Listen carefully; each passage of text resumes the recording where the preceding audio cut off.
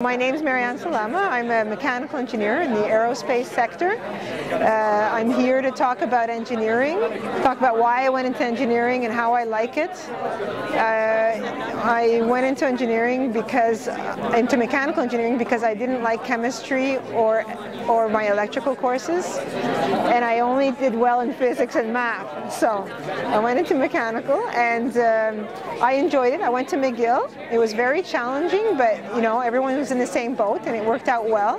Made a lot of friends there too at the time.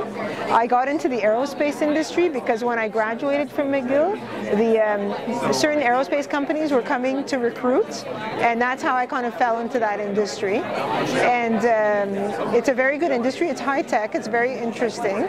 We build satellites where I work and uh, we work in a team, so all in a big team of engineers where we have mechanical, electrical, thermal, structural, material engineers, and we uh, build and test our equipment to make sure it's perfect because once it's launched, we um, can't fix it. So uh, it's challenging. The job is never the same from one project to the next. It's always different, which I, I like. So you're always learning something new, even though it could be stressful to uh, keep at it. Don't get discouraged because it is hard, but at the end, you're going to be rewarded with a, a good job. Um, uh, if you can, try to get some work experience while you're at university, any kind you can at all in engineering. It's very, very helpful for when you get a job later on. Uh, like the co-op programs, for example, or just try to get some sort of a work experience if you can.